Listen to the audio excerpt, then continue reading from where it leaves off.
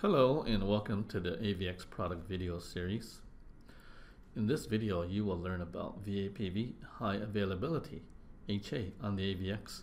Specifically you will learn what is the VAPV, what is high availability HA with two VAPVs, what is the network topology, how do I configure HA with two VAPVs, and how do I test the HA deployment. The Array VAPV is a virtual application delivery controller that improves application availability, performance, and security while enabling dynamic, flexible, and elastic provisioning in cloud and in virtual environments. The VAPV will be deployed on the AVX as a VA instance to provide server load balancing.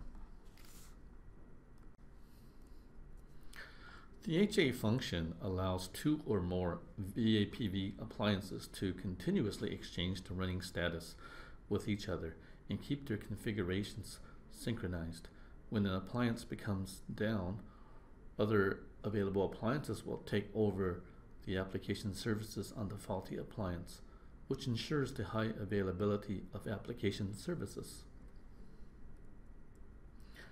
Here is a network topology for the VAPV HA on AVX deployment. We have the following key components. Two AVX appliances, two VAPVs, one deployed on each AVX.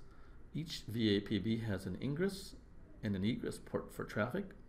Each VAPV has a heartbeat port that monitors the HA status. This port is a virtual port on the AVX virtual switch that is bound to a physical port on the AVX appliance. To configure HA with two VAPVs, there are five key steps. Number one, configure AVX appliances. Number two, deploy and configure VAPVs on both AVX appliances. Number three, configure SLB and HA configurations on VAPV1. Number four, configure synchronization peers on VAPV1 and VAPV2. And number five, synchronize the peers from VAPV1 to VAPV2. On the screen are the two AVX platforms.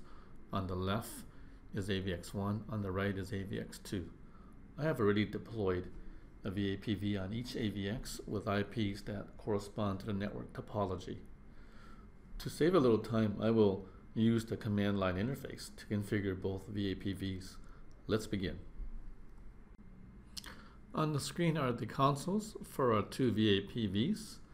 Um, HA will be configured in an active and standby deployment scenario. Uh, APV1 will be our active unit. APV2 will be our standby unit. Let's go ahead and configure SLB and HA configurations on VAPV1.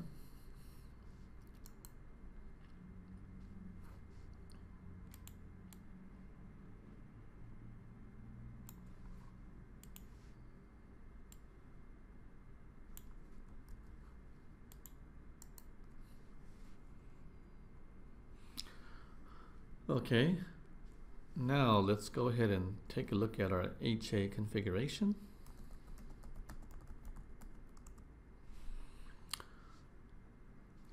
Unit number one, which is VAPV1, is IP 192.168.1.51. Unit number two is VAPV2, 192.168.1.52. We've created a group ID of 5, and we've got a floating IP for uh, monitoring our active and standby status. VAPV1 will have a priority of 100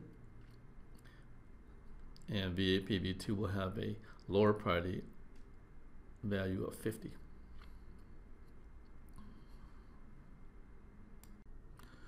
Okay, let's now configure configuration synchronization on both VAPV units by adding this command. synconfig peer. Let's do the same for this one. Okay.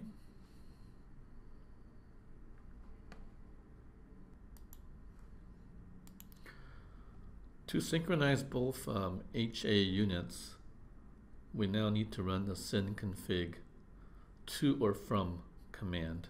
Let's go ahead and run this command from VAPV1.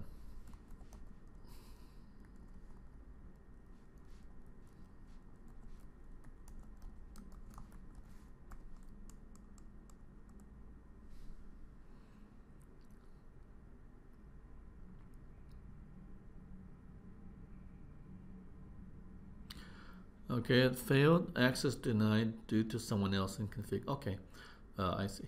Let's go over here to VAPV2 and exit and rerun the command.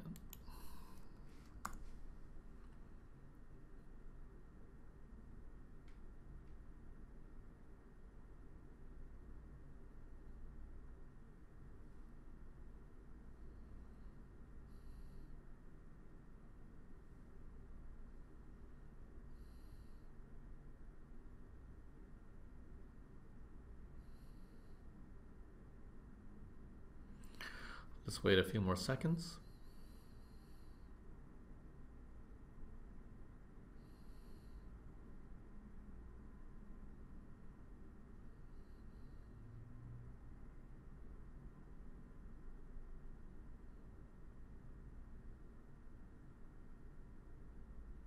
Okay, that's completed. Let's now check VAPV2 and see if the SLB and HA config has been synced over.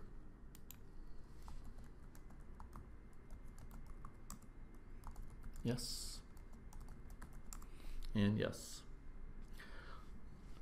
Let's also check the HA status on both units. Okay.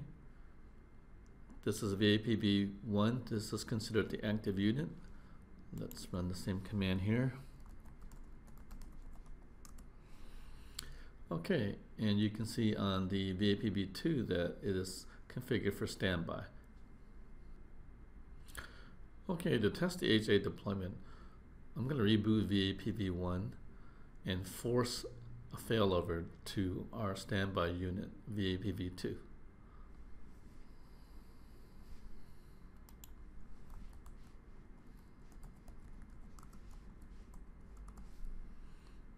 Let's jump back over here and run the same command.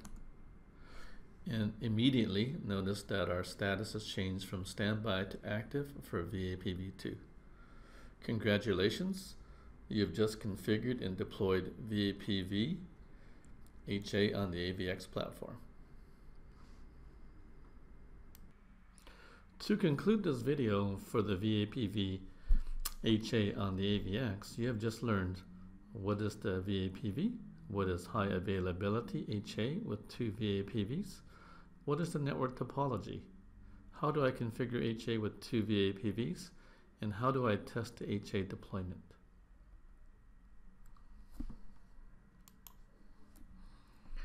Thanks for watching. Stay tuned for our next video on the AVX product.